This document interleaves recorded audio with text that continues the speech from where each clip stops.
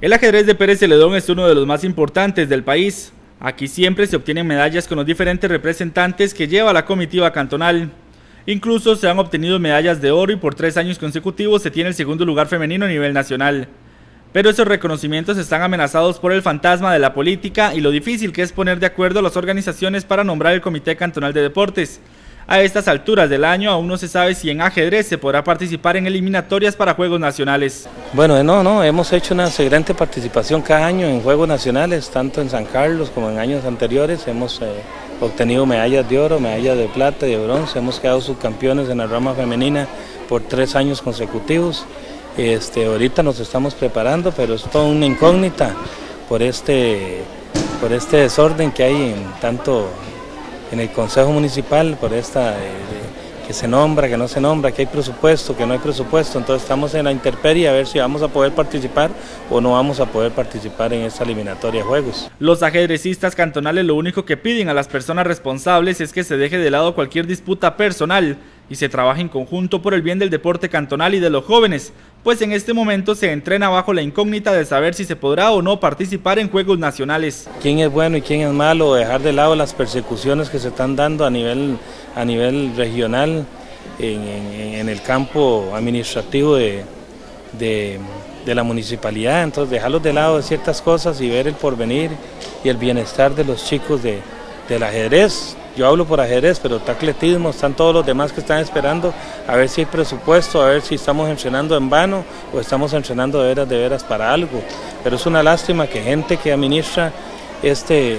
esta municipalidad, este consejo, no se pongan de acuerdo, gente madura, gente profesional, que se dice, es muy fácil para que dejarlos de lado con ciertas cosas que quieren ciertas, ciertas personas ahí para para no estar en ese, porque para mí es, un, es una lástima agarrar un atleta y tenerlo en este vaivén y tenerlo vacilando.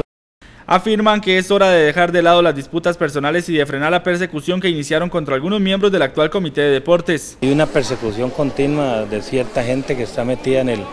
en el Comité Cantonal de Deportes y yo no sé cuál es la situación y lo único que yo puedo decir que es que a mí lo que me, a mí me da es vergüenza con los chicos, igual yo, yo estoy entrenando a Noren y quiero, quiero seguir entrenando porque yo espero y tengo la fe que ellos van a ir a la eliminatoria Juegos a ver si participamos, pero esto es ya de ponerse de acuerdo de la gente del Consejo Municipal, o sea, no es,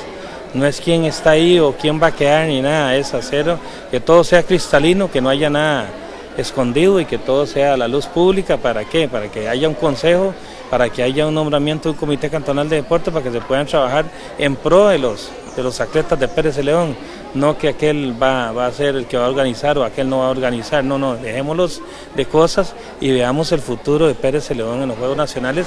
que ya se ha demostrado y tienen sumamente eh, la tarjeta de, de las medallas que se han obtenido. Además esperan que los nuevos regidores y el nuevo alcalde del cantón vengan con una mentalidad muy diferente con respecto al deporte, pues en estos cinco años fue poco lo que se hizo por la juventud deportiva de Pérez Celedón. Con este nombramiento que viene, con la gente nueva, con el alcalde nuevo, ojalá que cambie y que se vea una visión diferente hacia el deporte, porque la verdad es que son los niños que sufren, son los niños los que estar arrastrando el trauma este que hay, que no hay, que si va a haber, que si no, que si hay plata, que no hay plata, que si vamos a participar. Y esto es definitivamente, esto es porque alguna gente que no se pone de acuerdo en el Consejo Municipal a aprobar las cosas como son y, darle pie a, esta fiesta deportiva, como usted puede ver, para estos 80 niños que están aquí, están queriendo